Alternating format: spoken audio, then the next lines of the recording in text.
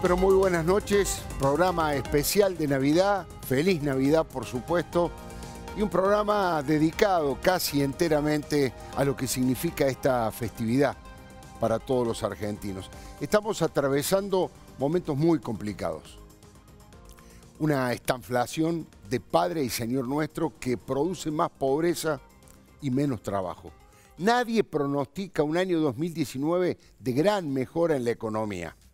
Las velas se prenden rogando que en el segundo trimestre lentamente las cosas vayan mejorando, que siga la tendencia a la baja de la inflación, el suave crecimiento del consumo y el aumento de la actividad, apoyado en varios motores como la cosecha gruesa, la potencia exportadora de energía de vaca muerta, la resurrección del turismo en todo el país. Bueno, veremos si eso se concreta y la situación política no se desmadra, pese a la apuesta permanente de los grupos más radicalizados y antidemocráticos liderados por Cristina y por Moyano. Ahí los podemos observar, ahí los tienen, ¿eh? en esa fotografía, en ese encuentro, no los une el amor, sino el espanto por ir a la cárcel. ¿no? Es que ambos saben que si Macri no termina su mandato, tanto la expresidenta como el líder camionero, será imposible que ellos vayan presos.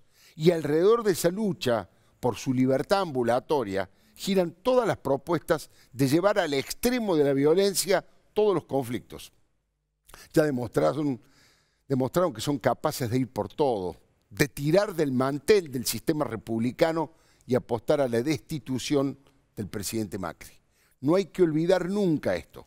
Hay que tenerlo siempre presente en todos los análisis.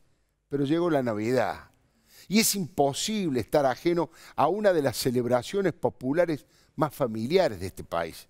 Por eso, si usted me permite, quiero comentarle una de mis columnas preferidas. Hace más de 37 años que ejerzo el periodismo. Leí muchos libros, muchos diarios, entrevisté gente sabia y conocí lugares que me dejaron muchas enseñanzas. Pero debo confesar que mientras más aumento mis saberes, menos certezas tengo. Una de las pocas certezas que me atrevo a defender es que nuestros hijos son lo mejor que tenemos.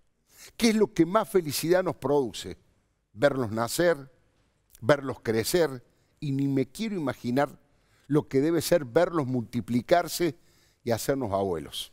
De eso, bueno, saben algo mis viejos, que esta semana cumplieron 65 años de casados.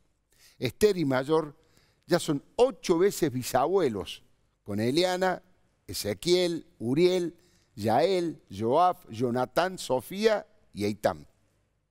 Eso yo todavía no lo experimenté porque mi único hijo, Diego, recién tiene 29 años y está tan enamorado como yo de la aventura de ser periodista.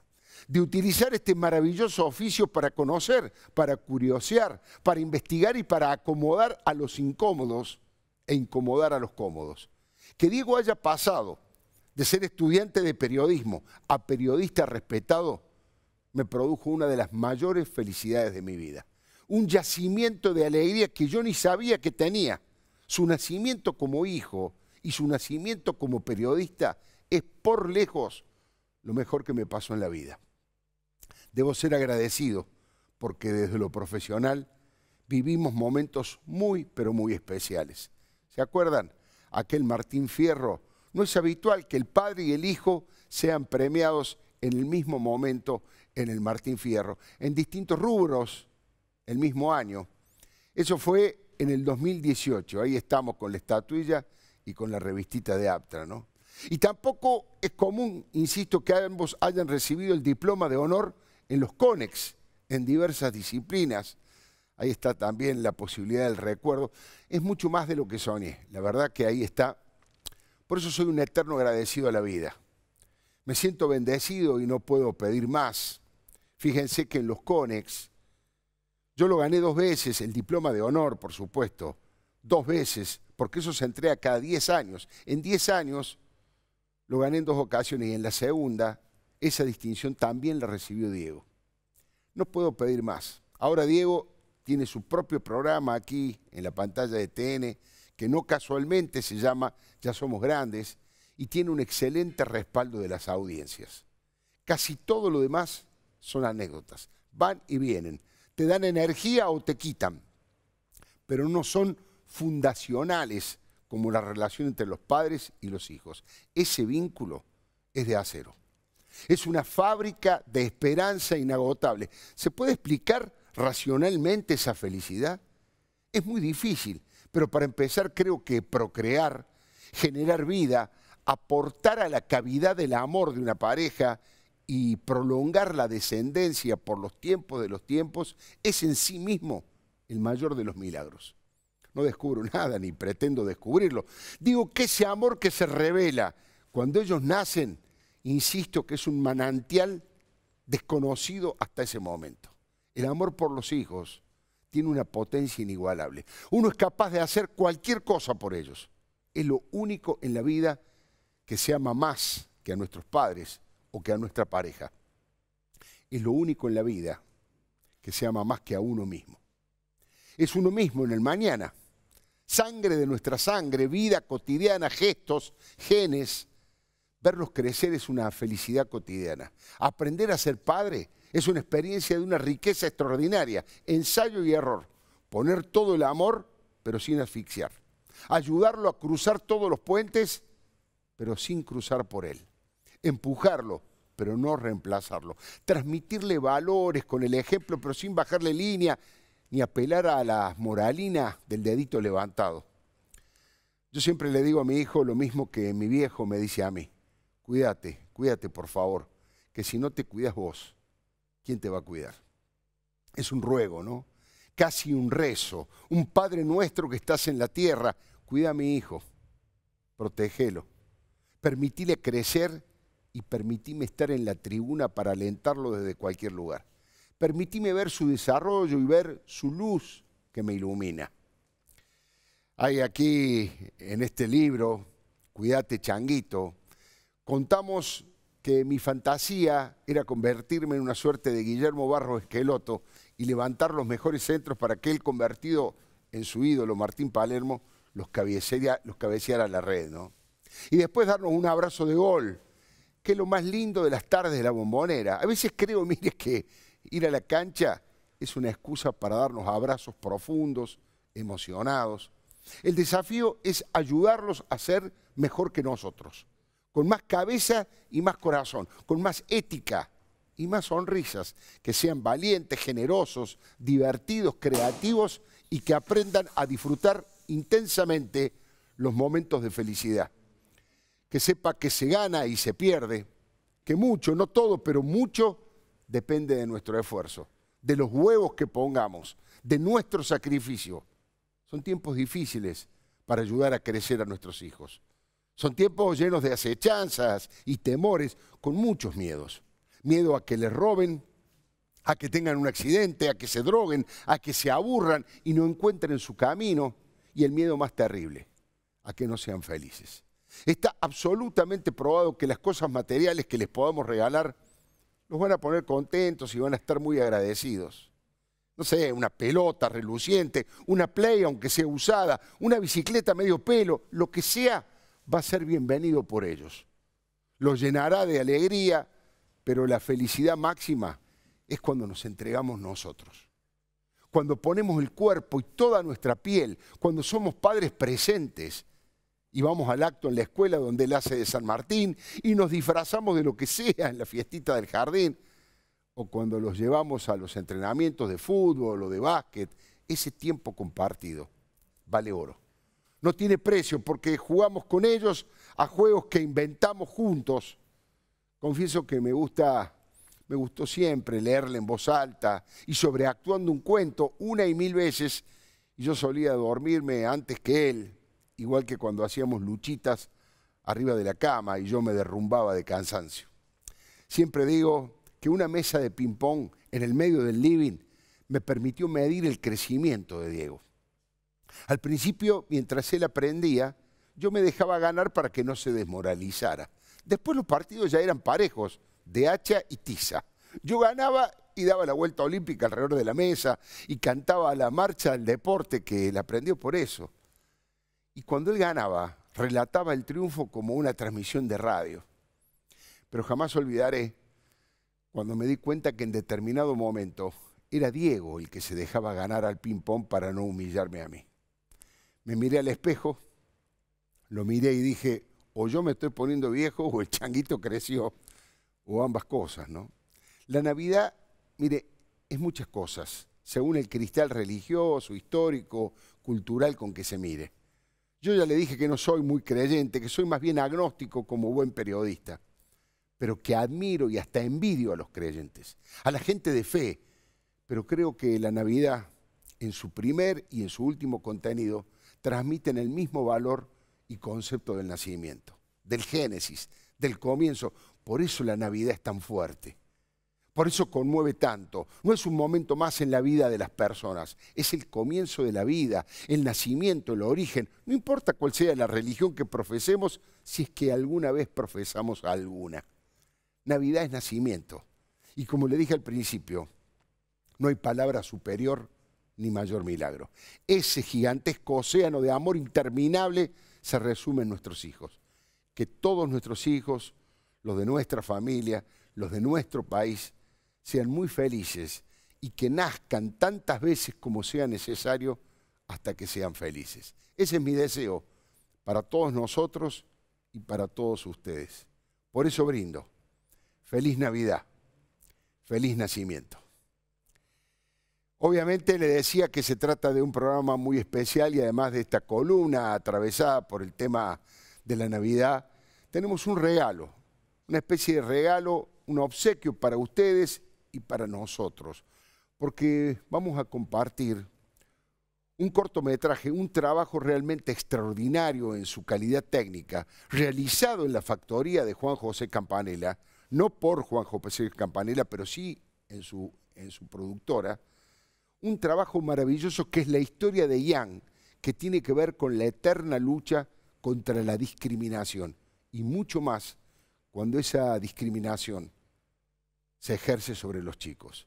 Lo invito a que lo veamos, nos va a llenar el corazón de alegría y es un aire de esperanza en esta Navidad.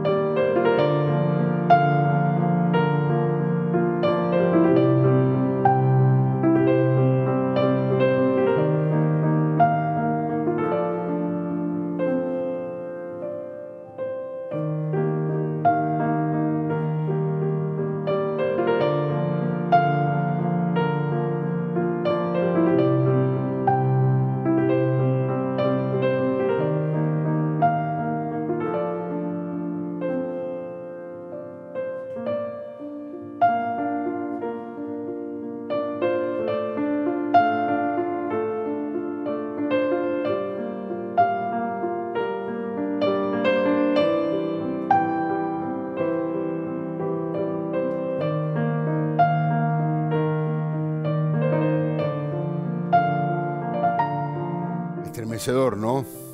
Estamos todos conmovidos, obviamente, con la historia de Yanni y la manera en que han resuelto y cómo dan vuelta la situación y de algo discriminatorio y negativo para la sociedad y para todos, lo transforman en un gesto de esperanza.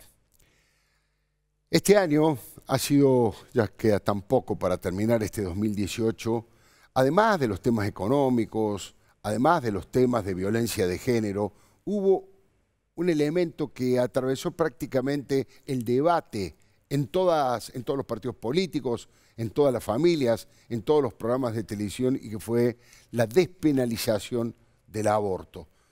Pudimos hacer aquí, en palabra de Leuco, un debate racional, tranquilo, de dos mujeres realmente muy preparadas que se respetaron, que discutieron y que llegaron a situaciones picantes, para llamarlo de alguna manera, pero que durante todo el tiempo mantuvieron la cordura, tuvieron un respeto por la opinión del otro muy interesante y creo que aportaron datos para que usted sacara sus propias conclusiones en este tema. Por un lado, la constitucionalista María Angélica Geli, defendiendo la no despenalización del aborto. Y por otro lado, la escritora Claudia Piñeiro defendiendo la despenalización del aborto. Ambas se lucieron armas, ambas argumentaron como corresponde y la conclusión, como debe ser, fue suya. Y Claudia, ¿por qué sí? ¿Por qué usted cree que, y bueno, de hecho lo ha hecho con mucha, con mucha energía y con mucha vehemencia, eh, apoyar, hay que apoyar el proyecto de ley para despenalizar el aborto en la Argentina? Sí, el proyecto de ley para legalizar el, aborto en la Argentina creo que nos, nos dio un debate impresionante, eh, muy interesante. Creo que hemos visto todos los argumentos jurídicos, médicos, éticos, sociológicos de los dos, de los dos lados. No hemos acordado de muchos de ellos, pero ya ahora estamos en otra instancia, la instancia de que se apruebe o no esta ley. Y entonces yo creo que hay que aprobarla porque a partir de ahora todos sabemos lo que pasa en la Argentina. Sabemos que hay muertes por eh, abortos clandestinos, sabemos que las mujeres abortan. Siempre pasó esto, pero no se hablaba de esto, no estaba sobre la mesa. Ahora está sobre la mesa. No hablemos de cifras. El ministro de Salud dijo 500.000. No hablemos de cifras, pero hay una cantidad muy importante de mujeres que mueren por abortos clandestinos en la Argentina. Más allá de los argumentos a favor o en contra, ¿qué vamos a hacer a partir de la ley? La ley, si sale, tiene una opción. Si no sale, las opciones que dan es más educación sexual, cosa que ya también la ley lo tiene y la tenía las leyes anteriores. Pero mientras hay más educación sexual.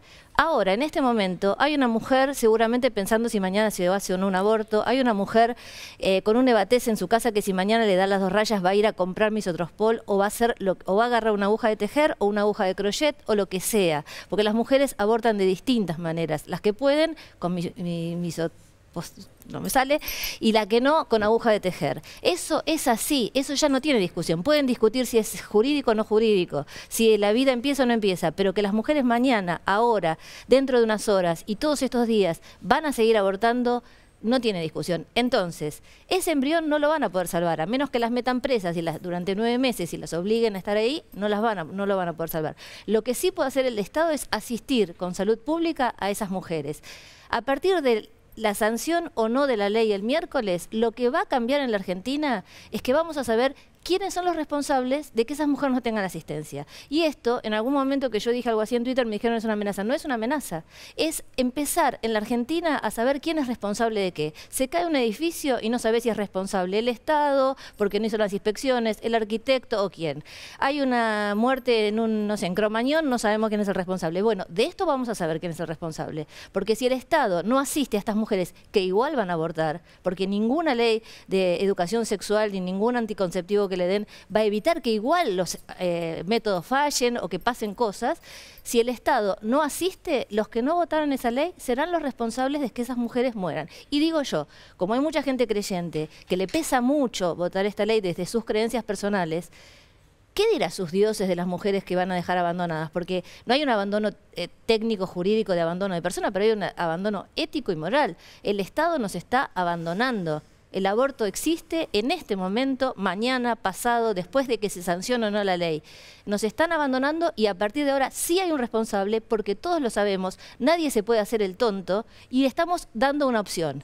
Mientras tanto, si quieren, educamos y después nadie queda nunca más embarazado sin querer, mejor todavía. Todos los países que han puesto la ley del aborto no aumentaron la cantidad de abortos. Si miramos Europa, todos los países tienen eh, abortos, si miramos a Estados Unidos tienen abortos, son grandes constituciones, han aprobado todos los tratados internacionales, tienen aborto. ¿Qué más tenemos que pensar? ¿Cuántas mujeres más tienen que morir en la Argentina? Bueno, interesante y contundente. Doctora Geli, le escucho a usted ahora.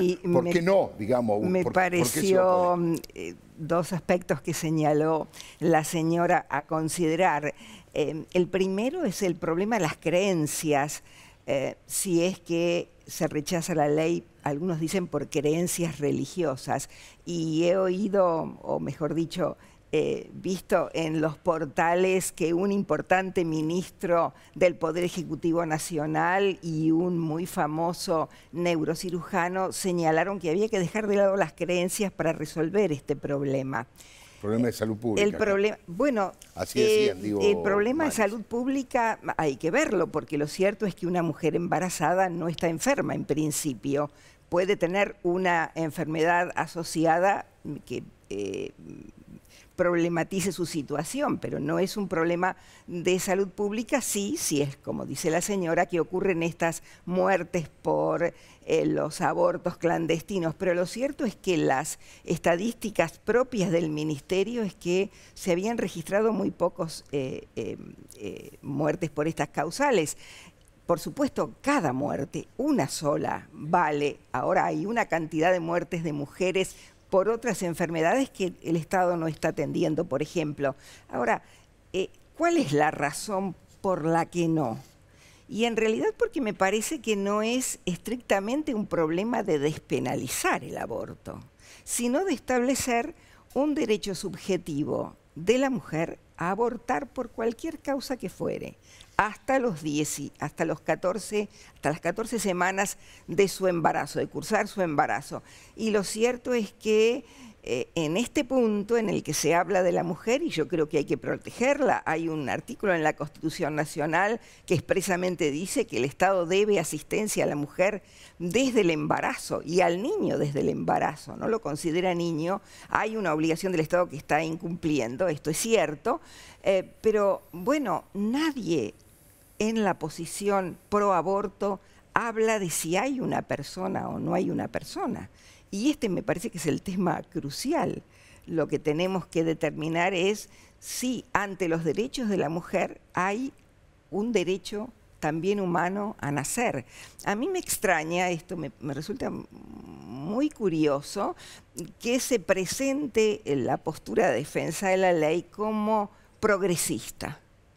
Creo que es todo lo contrario, porque los países que ha mencionado la señora a propósito de que tienen estas, estas, em, estas prácticas consagradas en su, legislación, lo cierto es que pueden equivocarse. También tuvieron en algún momento la esclavitud y la dejaron de lado. Nuestro país fue pionero en este sentido porque consagró, por ejemplo, la libertad de vientres muy temprano en su historia nacional y Estados Unidos, que fue también un pionero en materia de aborto, eh, eh, hasta consagró en su Constitución Nacional la posibilidad de tener esclavitud, así que todos nos equivocamos. También estos grandes países pueden equivocarse, ¿no? Y yo creo que hoy la ciencia es la que nos dice, acá hay un ser humano. La ciencia y la legislación argentina, la Constitución argentina, se es eh, persona desde la concepción ya no se dice en el seno materno, porque se puede concebir fuera del seno materno, pero hay una persona, nos tenemos que hacer cargo de esa persona.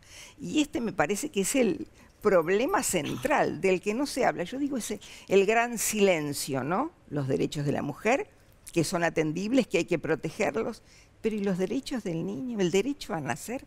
Le decía recién la cuestión de, del progresismo o la izquierda Norberto Borbio es una persona socialista, fue una persona socialista, un politólogo famoso, que em, se preguntaba, ¿cómo es posible que las personas que se llaman de izquierda le dejen eh, el honor y el privilegio a los creyentes, lo decía él que era laico, sí, eh, la defensa del no nacido.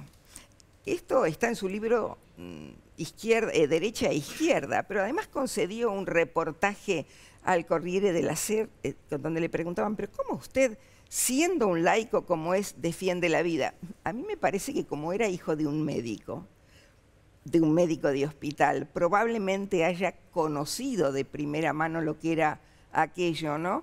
Eh, hoy la ciencia nos muestra clarísimamente que desde la concepción hay una persona humana. Por eso lo dice la Convención de los Derechos del Niño. Por eso lo dice el Código Civil de la República Argentina. Así que a mí me parece que ahí está el foco de la cuestión. Eh, Claudia Piñeiro, em, después le voy a preguntar a ella, le voy a hacer la pregunta contraria, pero ¿qué pasa si esto finalmente no se convierte en ley? ¿Qué cree que puede pasar en la sociedad? ¿Qué cree que puede pasar con los grupos de mujeres que mm. con tanto, este, digamos, resolución militaron este tema? ¿Y qué habría que hacer según su mirada? Después le voy a preguntar a ella qué pasa si se aprueba. Pero si no se aprueba. si, no se aprueba. Sí, lo primero que quería decir es que lo que decía María Angélica, que no se habló, fue de lo que se habló todo este tiempo. Por eso me llama la atención que diga que de eso no se habló. Y hace No, los que están eh, a favor del aborto. no, sí, hemos hablado. Lo que pasa, y también que, que digas rotundamente la ciencia dice eso, no es cierto porque ahí están las dos posturas. Por eso digo, yo partí de la base de no vamos a discutir ni legalmente ni la ciencia. Pasaron científicos, lo habrás visto en el debate, que dijeron exactamente lo contrario a lo que acabas de decir. Y la comisión... No, dijeron que la comisión, no hay persona. Bueno, ah, vos dijiste persona humana. Y después otra cosa más quiero aclarar. También dijiste de, la Convención de, Derechos Humanos de la ONU, acaba de decir lo contrario a lo que dijiste. Entonces tampoco podemos dejar de aclarar esto. Otro punto. No, es la izquierda. Los penatos. perdón. Sí, hay un. Bueno, tengo el video con, donde lo dijo. El fallo, me, imagino que te referís al fallo de la fecundación in vitro. No, a lo que le respondieron hace tres días a, a Lipovetsky cuando hizo la consulta específica sobre este punto. Eh, la Convención de los Derechos del Niño. No, no, no, le hizo una consulta específica. A la Corte Leíste la respuesta, de Leíste la respuesta de Lipovetsky. bueno, pero la Corte Interamericana de Derechos Humanos puede interpretar la Bueno, pero entonces no digas rotundamente que dice otra cosa porque no es así. La Corte Interamericana de Derechos Humanos tiene un fallo de hace muy poco tiempo. ¿De hace tres días? Hace tres días mandaron la carta. De hace, Después de los tres días, ¿tenés alguna otra cosa? no, no, pero eh, la opinión de la Corte Interamericana no es más que eso. bueno, está bien, la opinión. Lo que quiero decir, no se puede hablar con la rotundidad que habla yo, por eso arranqué diciendo, yo no voy a discutir quién tiene razón. Lo que quiero aclarar es que yo no discutí quién no tiene razón porque pensé que vos ibas a conceder lo mismo. Si no concedes lo mismo, tengo que discutirlo. Lo mismo que decir que esto es de izquierda. Acá hay un montón de gente en el panel que está de acuerdo con la, con la ley y no es de izquierda. Lipo, ves que no, es de izquierda, los penatos no es de izquierda. Está lleno de gente. Bueno, pero vos no me podés decir que la gente de Cambiemos que presentó esta ley es eh, de izquierda. No la presentó la gente de Cambiemos. Sí, bueno, los Penato y Lipovetsky... de Cambiemos, pero lo plantean, nos han dicho muchísimas veces que los conservadores, Esta ley, eh, mira, si vos hubieras trabajado como yo en esto, te hubieras encontrado con gente de todos los partidos, abrazándonos mujeres de distintos partidos por esta ley. No somos de izquierda todos, yo estoy más cerca de la izquierda que no, pero estuve abrazada a gente con la que no me hubiera abrazado políticamente. Y otros me han abrazado a mí que tampoco me hubieran abrazado. Pero ahora voy a la pregunta. Quería aclarar esas cosas porque si no quedan dando vuelta y parece que yo todo respondo... todas las que cada Quiero de decir, quiera. esta ley es transversal absolutamente en todos los partidos. Hay mujeres de ultraderecha, hay mujeres católicas por el aborto y hay mujeres de izquierda. Y hay hombres también de todos los partidos. ¿Qué va a pasar si esto no se aprueba? Lo que te dije. Hay gente que va a tener que llevar sobre su conciencia la muerte de todas las mujeres, que serán las poquitísimas que crean, no me importa, las que a ustedes les parezcan. Pero no solamente es la muerte, es la destrucción de úteros, la, eh, las cruentas situaciones que pasan después de esto, las eh, mujeres desangradas, todo eso tiene que ver por es la consecuencia de no aprobar la ley, va a ser eso. ¿Por qué? Porque si vos me decís, ah, y si la aprueban van a morir embriones, la mujer se va a hacer el aborto igual, entiéndanlo, a menos que la metan pre esas nueve meses, el aborto, eh, lo que proponen los otros, no hay ninguna posibilidad de que la mujer no se haga el aborto, porque se lo viene haciendo, porque se lo hizo siempre, porque se lo seguirá haciendo con el método que sea. Entonces, a ese embrión, sea vida humana, no sea vida humana, yo tengo mi concepción, otro tiene otra, no lo van a poder salvar. Lo que tiene que decidir el Estado es si salva o no a la mujer y al útero de la mujer. Le digo al peronismo, ¿le puedo hablar una cosa al peronismo? He escuchado a muchos peronistas decir que la base del peronismo auténtico está eh, a favor de la vida. Eh, Tomás Eloy Martínez en Santa Evita te describe el aborto que se hizo Eva Perón, las consecuencias eh, tremendas médicas que tuvo y en parte se supone que el cáncer de útero, según la investigación de Tomás Martínez, tiene que ver con ese, aborto. Entonces el peronismo también tiene que hacerse cargo de esto. Ya se hicieron cargo casi todos los partidos, pero el peronismo tradicional, que es el que ha estado más cerca de muchas de las cuestiones sociales de, las, de los hombres y mujeres, está mirando para cualquier otro lado. Y no están mirando su propia historia. Me parece que también a ellos, a ellos me gustaría hablarles. Interesante. Le hago la pregunta al revés y haga todas las aclaraciones que quiera. Es, ¿Qué pasa con esto si finalmente es aprobado y si finalmente este, se despenaliza el aborto en la Argentina, doctora? Bueno, eh, vuelvo a reiterarlo. Si se despenaliza el, el aborto, y se facilita, porque me parece que lo que hay que tener en cuenta es que aquí se está estableciendo un derecho eh, absoluto de la mujer abortar en las primeras 14 semanas y luego también por algunas causas que se establecen hacerlo hasta el momento prácticamente del parto. Esa situación eh, generaría además, como está establecido en la ley, una obligación del Estado de proveer este, este aborto. Yo creo que en ese caso tendrían que modificar las, eh, la Constitución Nacional y las leyes, por lo menos el Código Civil, que dice que el comienzo de la persona humana es desde la concepción. Lo acaban de aprobar y empezado a tener vigencia hace muy poco, por lo menos para ser consistentes, para ser congruentes con lo que se sanciona. Hoy un constitucionalista, profesor de Derecho, Sagüez lo decía, ¿no? Estamos en un sistema esquizofrénico de legislación, porque por un lado protegemos la vida del no nacido desde la concepción y por otro lado eh, despenalizamos y además establecemos un derecho subjetivo a abortar. En este caso, mm, supongo que en alguna situación específica se podrá plantear alguna acción judicial para la defensa del no nacido, que en la ley no hay ninguna, ninguna protección, olvidando el artículo 75, inciso 23, que protege al niño desde el embarazo. Y lo que es más grave todavía es que según estuve leyendo en los eh, dictámenes que se aprobaron, se prohíbe la objeción de conciencia institucional, los idearios, ¿no? Así que a una organización que eh, supongo también a los médicos de la eh, Academia de Medicina que han dictado, han emitido un dictamen muy contundente a propósito del juramento hipocrático que hacen los niños, también serían obligados, si pertenecen a una institución que dicen nosotros consideramos que acá hay vida humana y la tenemos que proteger, no vamos a hacer un aborto.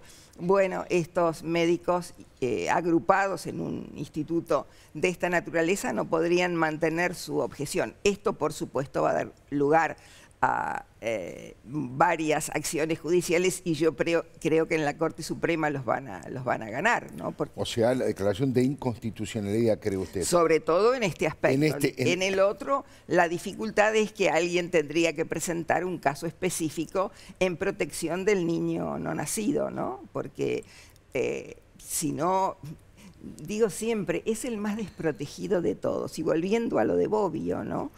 Eh, lo extraño es que no se proteja al más débil. Es el más débil entre los débiles. Cualquier niño en estado hasta de calle puede huir si alguien lo va a atacar.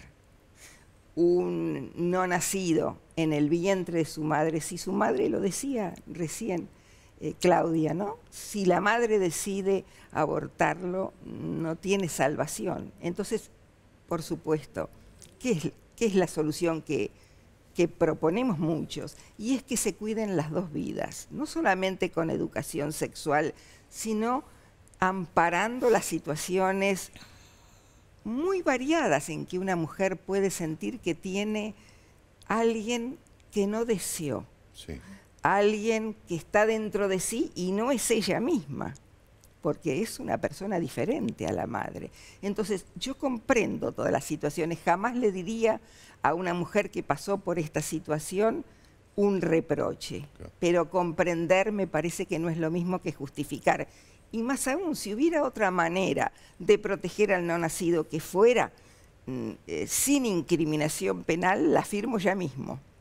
El punto es que el proyecto y el dictamen que se ha aprobado establece un derecho subjetivo protegido por el Estado, proveído por el Estado para suprimir la vida naciente. Y esto me parece que es inconstitucional, que es inconvencional y que además lo es porque cuando se tomaron estas decisiones eh, eh, legales y convencionales se hizo en base a una cosmovisión científica.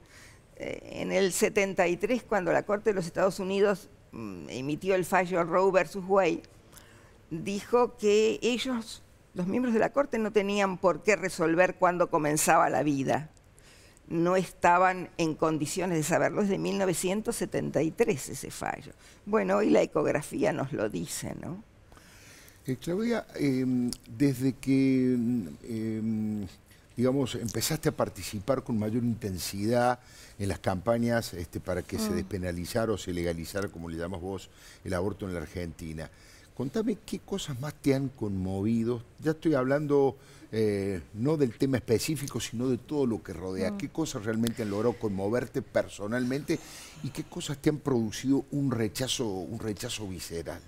Mira, por un lado me conmueve mucho eh, la unión que hay entre mujeres de muy distintas ideologías, pero también me conmovieron mucho casos específicos.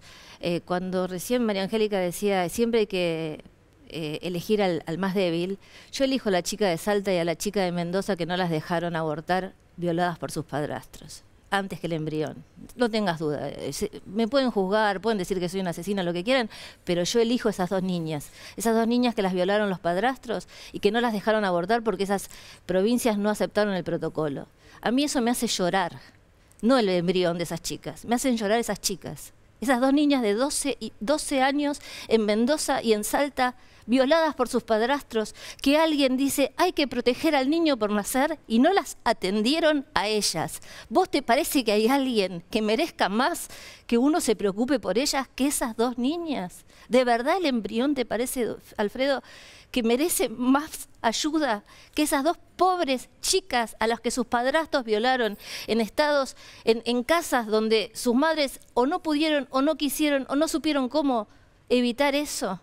¿A vos te parece que yo puedo sentir más pena por un embrión que por la señora Acevedo que murió de cáncer porque no le quisieron dar la medicina para el cáncer porque se iba a morir un embrión que llevaba dentro feto o bebé, como lo quiera llamar, ¿a vos te parece que el más débil era ese embrión o la señora Acevedo que murió de cáncer y también murió su bebé porque no pudo nacer? Porque la señora Acevedo murió de cáncer, un caso paradigmático en la Argentina. ¿Sabes cómo me emociona a mí eso? ¿Sabes lo que yo daría por poder ayudar a todas las niñas de Salta, la, la provincia de la Argentina que tiene más muertes por abortos, a todas las niñas de Mendoza y a todas las señoras Acevedo, a la que hubo una persona que creyó que iba a ganarse el paraíso y el cielo de su Dios y se creyó más que todos nosotros, interpuso una demanda o, una, un médico que se puso a decir desde su perspectiva de Dios que esa mujer no debía recibir el tratamiento de cáncer? ¿A vos qué te parece? ¿Sabes, las veces que yo lloré leyendo esos testimonios? Testimonios de amigas mías donde me cuentan cómo fueron de, sala en sala pidiendo un eh, aborto porque su hijo ya estaba condenado a morir antes de nacer y no se lo daban. Cómo se desangró en su casa después de que le dieron las pastillas. Eso a mí me emociona muchísimo. Y eso me impresiona vos me decís qué me pasa del otro lado. Me impresiona que la gente del otro lado no puede no, Yo me conmuevo con un embrión, yo me conmuevo, pero me conmuevo más con esto. Lo que no me lo que no puedo creer es que ellos elijan un embrión a estas dos niñas, por ejemplo. No lo puedo creer. Bueno, yo no elijo, no hago esa opción y creo que muchísimas personas no hacen esa opción. ¿Y qué solución les das? Tiene una solución. Eh, eh, probablemente, no sé, no conozco al médico, pero probablemente el médico no ejerció bien su medicina, porque ese es el caso del doble efecto. El médico no quiere matar a nadie, el médico quiere salvar a la madre y entonces le da un remedio, como pasa eh, eh, eh, en muchos casos en que la persona está cursando una enfermedad terminal y tiene dolores terribles y le dan morfina para que no sufra ese dolor, le dan la morfina y la morfina acelera la muerte. El médico no quiso la muerte de la persona, quiso evitar el dolor. Bueno, ese caso que usted plantea exactamente se podría haber resuelto así. Se le da el remedio a la madre contra el cáncer y eventualmente va a morir el, Pero alguien objetó dar el remedio y no se lo dieron. pero lo hizo mal el médico. lo que queremos es, una ley que no le permita a los médicos hacer eso. Pero eso está contemplado hoy en el Código Penal. Sí, pero no lo hacen. Eso es otra cosa distinta. Entonces yo te diría que una cosa es la protección de la madre. Estoy en primer lugar en protección de la madre, porque una madre que muere puede dejar un niño en desamparo, desde luego que sí, aunque naciera el niño. Pero en este caso era perfectamente solucionable. Qué lástima que no lo solucionaron entonces. Bueno, pero con eso vas a consagrar... Eh, supongo que habrás visto igual que yo, y también me conmovieron, ¿no? Chicas muy jovencitas diciendo, felices vamos a abortar. Vamos, he oído No, no he visto. Jamás vi una chica decir felices vamos a abortar. Hemos, vamos a abortar en manada. No, no lo he visto, María Angélica. Sinceramente no lo he visto, no lo creo. Bueno, no lo creo. Yo creo que son las mentiras del otro lado. Después Adriana va a poder hablar seguramente de eso.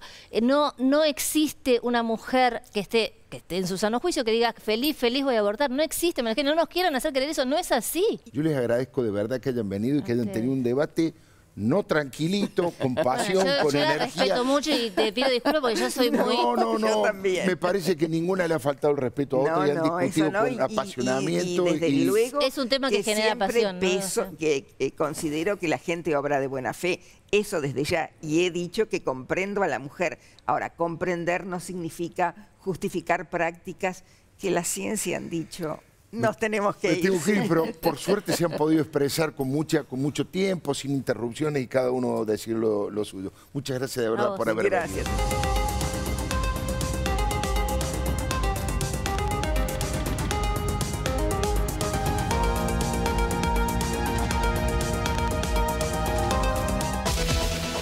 Siempre nos preguntamos, ¿conviene invertir en ladrillos? En cualquier momento económico. Es el mejor resguardo de nuestro capital. Asesorate con Adrián Mercado, Gestión Inmobiliaria.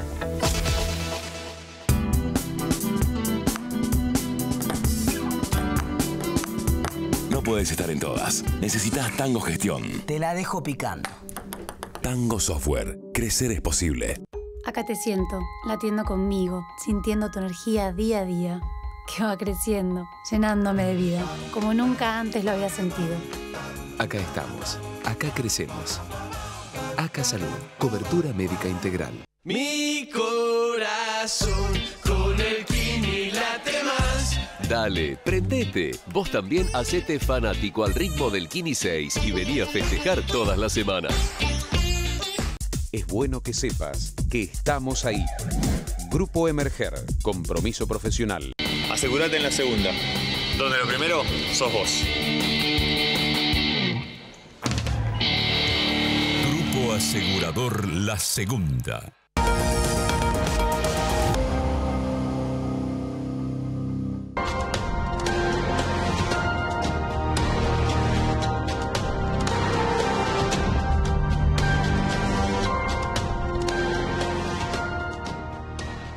A veces para ganar, más vale jugarla de callado. Bueno, estamos transmitiendo en vivo en el caballo de madera por entrada a Troya. Que un like no cambie tu historia. Os de Neo, seguí tu plan. Con Naranja, compra en todos los super e hiper del país. En plan Z, tres cuotas cero interés. Todos los días, todo el año. Aprovecha este beneficio exclusivo que Naranja tiene para vos. Pedí tu tarjeta en naranja.com. Sancor Seguros. Detrás de la sonrisa de Mariana y la de más de 5 millones de asegurados.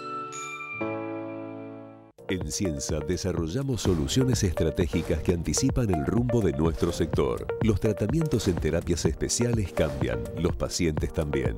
Cienza, la salud es nuestro compromiso.